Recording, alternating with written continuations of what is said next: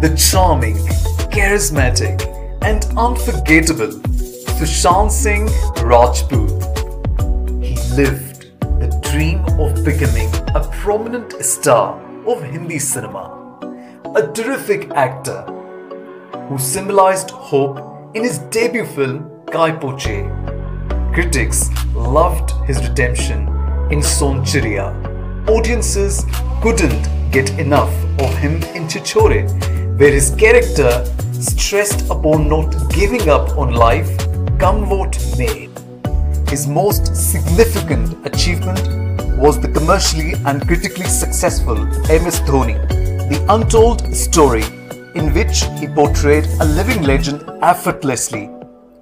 In 2018, he donated rupees 1.25 crores to affectees of natural calamities in Nagaland, giving a similar amount to Kerala the same year. His bucket list included opening the biggest library in India, teaching kids about space science, and owning a part of the moon.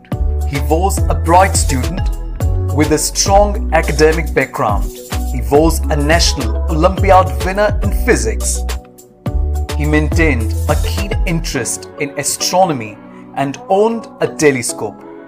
His untimely demise on June 14, 2020, at the young age of 34, sent shockwaves among his admirers the world over.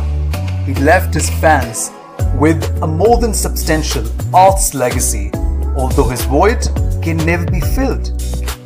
He will always be remembered as one of the most exceptional entertainers of the Bollywood Dream Factory.